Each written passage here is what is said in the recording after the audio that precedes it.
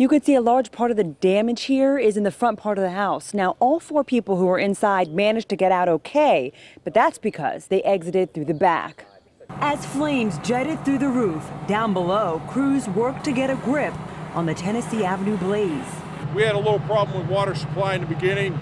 We got that straightened out. The flames so intense, those nearby could feel the heat. It was very hot. Fire Chief Jeff Arnold says the fire moved from the porch to the structure itself, breaching the walls, then reaching the attic of the two-story duplex.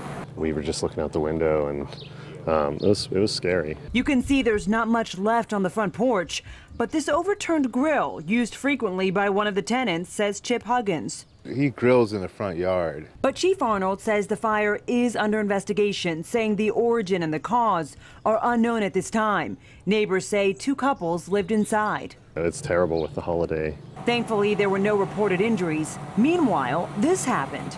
Yeah, our water's off.